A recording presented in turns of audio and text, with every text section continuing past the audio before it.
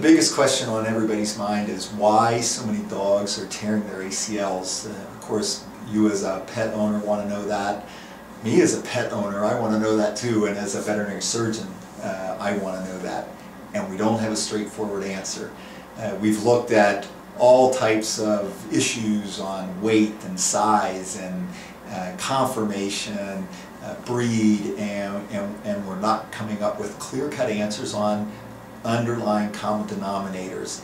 But we do think that dogs tear their ACLs by chronic biomechanical stress. Uh, unlike a human, a human tears their ACL with athletic trauma as acute, quick injury. and dogs, we think happen little by little over time. And a lot of that has to do with the anatomy in dogs versus humans. And I've got my uh, knee pants on today, so First, let me show you a human knee. And in humans, the top of the tibia is pretty level, maybe four to five degree slope, but pretty level. And the way that we tear our ACL is a football player hits us from behind, the tibia thrusts forward and stretches and acutely tears the ACL.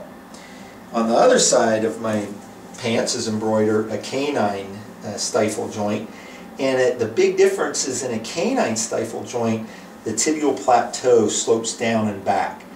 So when dogs bear weight, they do this chronic little sliding motion, and that little sliding motion puts the ACL under chronic biomechanical stress, and we think that is a key component uh, to the reason why dogs are tearing their ACLs.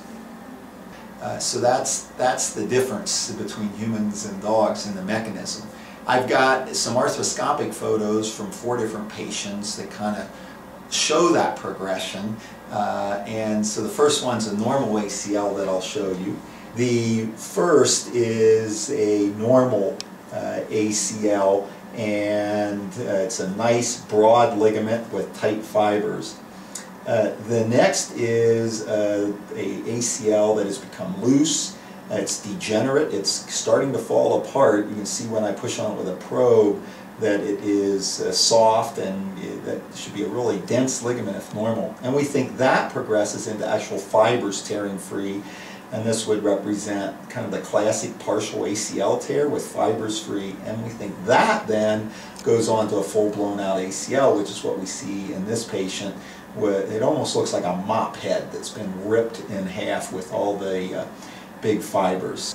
Uh, and so, to summarize, we don't have an exact reason why so many dogs are tearing their ACL, but we think the common denominator is this chronic biomechanical stress. And that's one reason that we think when a dog starts to tear their ACL, they are virtually always go to full tear.